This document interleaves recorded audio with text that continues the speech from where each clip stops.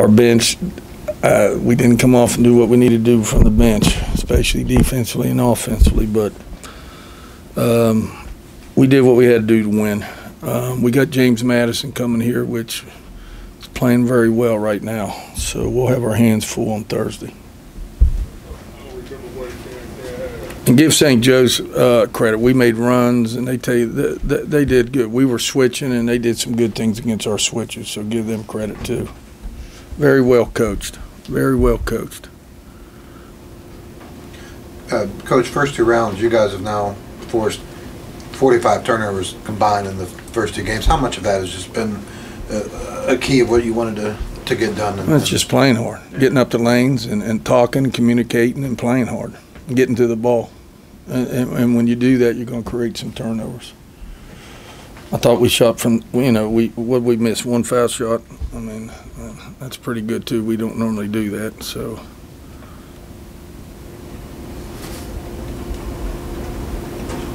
kind of the second game in a row that Davenport has started a little bit slow. What have you kind of seen from her in the first quarter? She just got to come out and play hard. I mean, I just got to come out and play hard. You know, when your shots are not falling or you're not scoring, then you play harder. You play defense. You rebound. You get to the rim. You get you, you play harder. You just don't stand. And you know, as you notice, I kept taking her out, taking her out, taking her out, taking her out, and then finally she hit a bucket. That's the best thing probably could happen. She hit a bucket, and then she started playing harder. Coach, you got out to that big lead and then had a couple of defensive lapses right after you subbed, I think. John, I didn't even recognize you in the beginning. What's up, buddy? Not much, buddy. How you doing? Oh, living a dream. uh, yeah, we, but I start substituting. I mean, it's been the same thing all year. It's been the same thing all year with all these injuries and stuff. And, you know, I, I, I never understand when you have subs come in, they determine their playing time.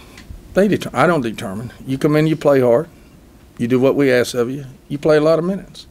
You come in, you don't play hard, and you don't do what we ask of you. You don't play a lot of minutes. I mean, so I, I never understand that. I really never understand a player that don't understand you control your playing time. You control it. I don't control it, and, that's frustrating to me. That's frustrating to me. I think part of it is they're looking down the bench and they realize that you only have nine. You're Yeah, have to play sure, sure, but you know, just people coming off the bench should be hungry to get in there and play hard. I mean, I, I, I mean, I if I'm one of them, I, I mean, there there's players on our bench could have played 25 minutes a game this year, 25 minutes a game if they just played hard, and you know, and, and, and when they don't, I have to play our starters a lot more minutes. And then you're right. If, if, if your people off the bench not playing hard and your starters not playing hard, you're, you're out of luck here a little bit. You're out of luck. You just got to put up with it. You mentioned James Madison's playing well right now. Their inside game passed very well against you when you weren't getting where Yeah. you needed to be. Is that a concern against them? Absolutely. Um, everything. What was happening was our other post was helping, and our guard wasn't helping the post. You know, it's called help defense, and uh, uh, that's not a new concept. It's been around for a lot of years.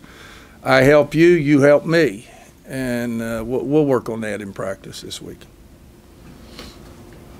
Coach, uh, Teana moved in, I think, fourth all-time scoring and Yeah. rebounding tonight. I mean, pretty good, big accomplishment for her career. And Yeah. you- You've Yeah. talked a, a, lot about her and, and what she's done and what she's had to do, but I mean, uh, I mean, she's become a, a leader on and off the court. I was Mm-hmm. kind of wondering, what other things don't we see w- with her that, that, that she accomplishes that, that she does for the Just the way she handles herself when nobody's watching, and, and, and the leadership when nobody's watching, and pulling somebody to the uh, and talking to them, or going over their apartment and talking to them, or or in the middle of practice say, "Coach, can I bring them in the middle a second?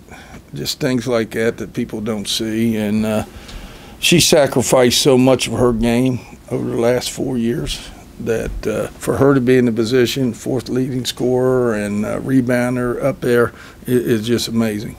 Just amazing. And, and, and couldn't happen for a better person. Could not happen for a better person.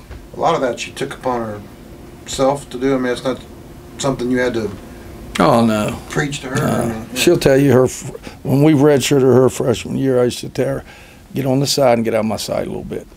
All right. And now some players will go over and pout. She went over and worked on her game.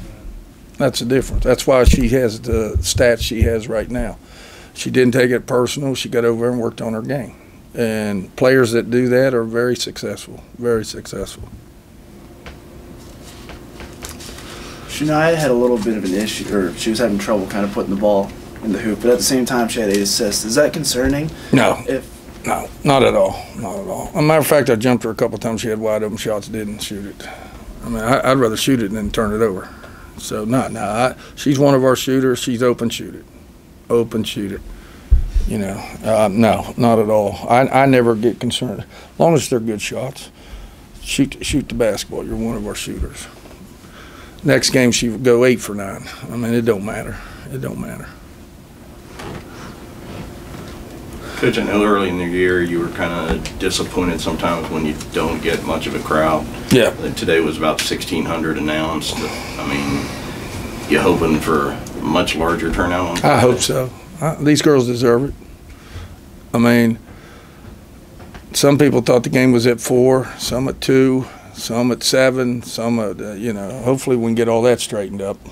Uh, but the crowd that was here was great.